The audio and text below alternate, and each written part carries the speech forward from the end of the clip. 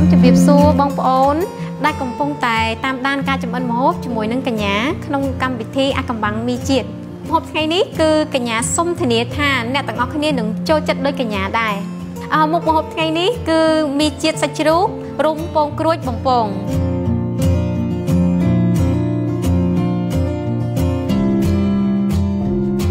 ម្ហូបនេះមានរសជាតិប្លែកហើយឆ្ងាញ់ធានាថាអ្នកទាំងអស់គ្នានឹងចូលចិត្តអឺ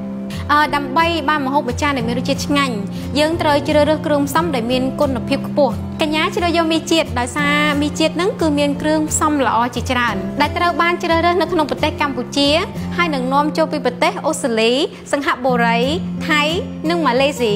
ស័ក្តិសមបំផុតសម្រាប់មុខម្ហូបថ្ងៃនេះ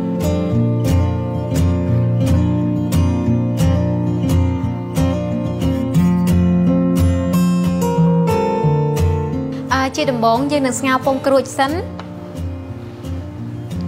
ចាំទឹកនឹងពុះយើងដាក់ពងក្រួចចូលតែភ្លើងយើងប្រើទៀបល្មមបានហើយយើងយើងស្ងោរប្រហែលជា5នាទីគឺពងក្រួចនឹងឆ្អិនអញ្ចឹងពេលរងចាំពងក្រួចនឹងយើងអាចប្រឡាក់សាច់ជ្រូកសិនណា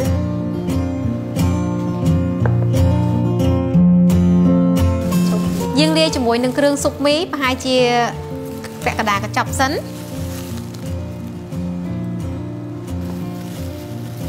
ប្រេងរសជាតិរបស់មីនេះយើងដាក់ចូលទាំងអស់មកកញ្ចប់ណា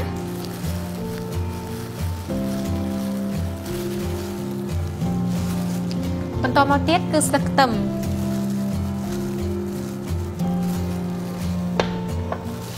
សម្រាប់ការប្រឡាក់សាច់ជ្រូកនេះកញ្ញាអត់ប្រើគ្រឿងផ្សំផ្សេងផ្សេងទៀតទេដោយសារនេះ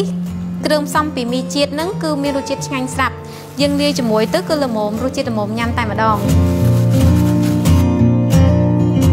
ឥឡូវពងក្រួយរបស់យើងនឹងឆ្អិនហើយខ្ញុំនឹងយកមកនឹងដាក់ជាមួយទឹកត្រជាក់ដើម្បីយើងបកសបកចេញណា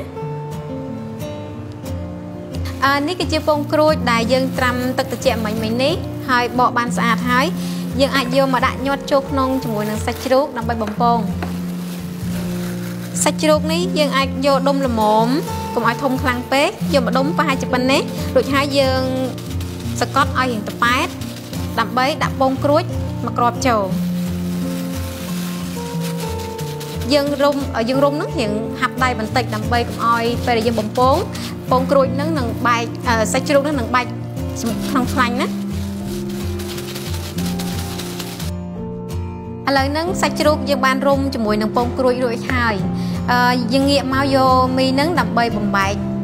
ចេញជាចំណិតតិចតួចយើងប្រឡាក់ជាមួយនឹងសាច់ជ្រូកដើម្បីបំពងណា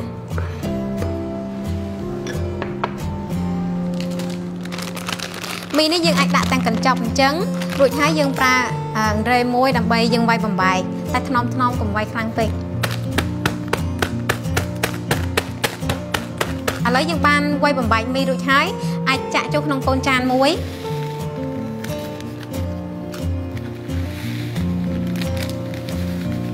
អើពមន់មកគ្រាប់យើងដាក់ចានហើយវាយបំបែកចឹងមកដើម្បីយើងជ្រលក់ជាមួយនឹងសាច់ជ្រូកឲ្យសើមណា យើងជ្រលក់សាច់ជ្រូកចូលក្នុងពងមាន់ឲ្យសព្វល្អរួចហើយដាក់ចូលក្នុងមីដែលយើងបបៃបំបែកមិញនេះ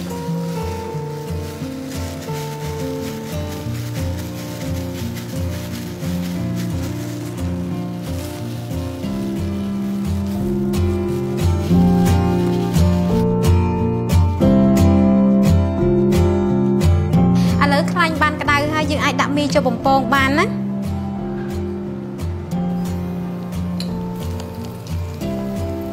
មីនឹងយើងបំពងប្រហែលជា5នាទី គឺឆ្អិនល្អ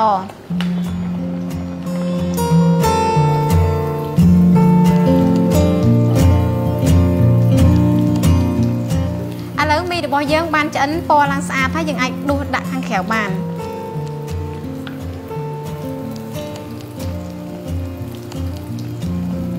អានេះយើងចាំឲ្យរៀងត្រជាក់ចាំទទួលទាន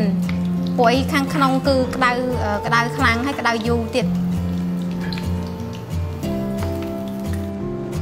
មុខម្ហូបរបស់យើងនឹងគឺរួចរាល់ហើយអ្នកទាំងអស់គ្នាអាចញ៉ាំអមជាមួយនឹងទឹកជ្រលក់ផ្អែមបានខ្ញុំសូមអ្នកទាំងអស់គ្នាជួយគ្រប់គ្រងមីជាតិផងដើម្បីកញ្ញាមានកម្លាំងចិត្តច្នៃប្រឌិតមុខម្ហូបថ្មីថ្មីទៀតជូនទៅដល់បងប្អូនទាំងអស់គ្នា